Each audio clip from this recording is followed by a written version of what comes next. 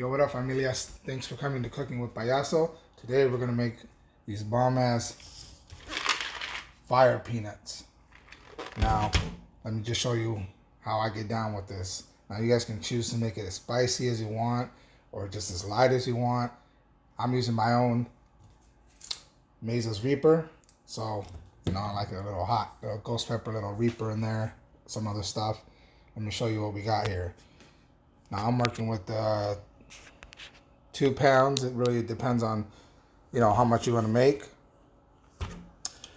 You know, you can do just straight Tajín. I'm going to do about a tablespoon of this. Pick yourself up some of these uh, lemon packets. Get them on Amazon or Walmart. You know, they got all different flavors too. You need about one lime. And of course, I like it a little spicy, so I'm going to do about two tablespoons of my uh, Mesa's Reaper. You know, it'll be available soon. But anyways, now I'm to sprinkle, you know, a tablespoon before and then after it comes out. So what you're to need, is you're to need yourself a mixing bowl. Now you can go ahead and uh, line that if you want. You know, I don't need all that. I got my oven set to about 300. Basically, I just want to dry out the peanuts. So let's get at it. Let's get started here. So I'm to go ahead and just dump those in here. You're want to juice that lime. Make sure you get it all coated as good as you can here because you want your powder and stuff to stick. Don't worry if it's a little wet because like I said, that's why we're going to throw them in the oven. Dry them out a little bit.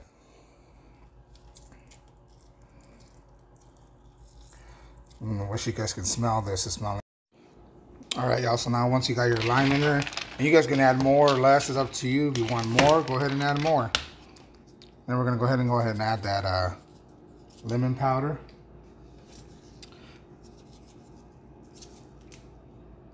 Go, go ahead and add your one tablespoon of Tajín.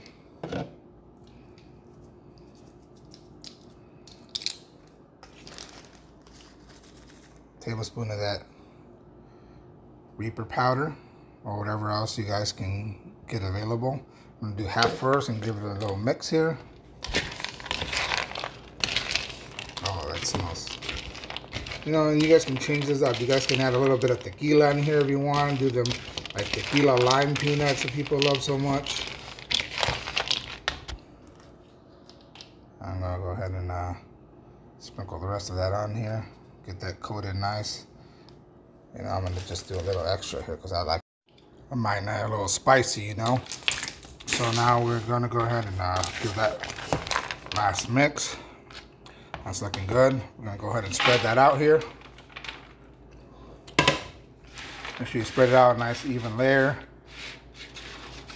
I know I got a big ass sheet here, but you might not need one quite this big. I just like to make sure mine it's uh dries out pretty good, pretty quick. Go ahead and pat that down, make sure it's evenly distributed. Then I'm gonna go ahead and throw this in at 300. Just kind of keep an eye on it. I say maybe 10 minutes, but you know, give it a stir halfway through and we'll be back. You know, one of the things I like about this recipe is that it's easy, it's quick, there's no fuss, no muss, and you don't have to do peanuts. You know, if you like cashews or you know, you want some pecans or some macadamias, which I got all those, and we're going to do another recipe with that later on. But, you know, change it up. Do your own. This is just uh, quick and easy, fast. It's just something I like. You know, it's pretty affordable and cheap. And, uh, you know, it's a snack that you can sit there and watch a movie or whatever, you know. Uh, but as I'm sitting here cooking it, like I said, we're going to give it about 10 or 15 minutes. And I'll be back with y'all. Don't go nowhere. All right, fam, welcome back. All right, let's check these out. They're looking pretty good. We're gonna go ahead and pull these out real quick. Oh yeah. I'll show you here what we got.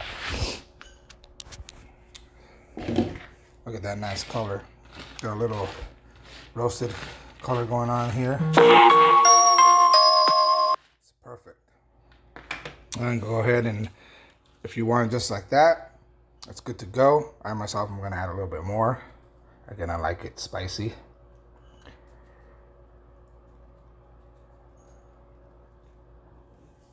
Go ahead and mix all that in real good.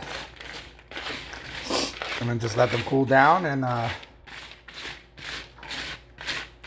sit there and eat them just like this. Add them to your popcorn or your favorite movie snack or these are good for on the go snacking and again for under five bucks you got a snack that the whole family is gonna love